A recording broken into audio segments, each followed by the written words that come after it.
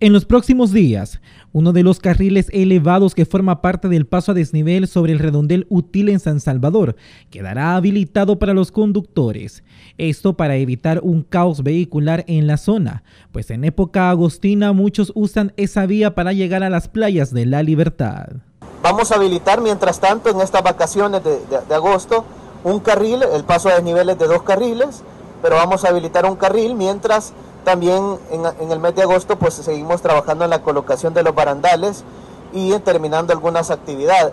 A finales de esta semana ya podamos habilitar el tránsito vehicular en este paso a desnivel eh, para todas las familias que se conducen desde San Salvador hacia carretera al puerto de la Libertad.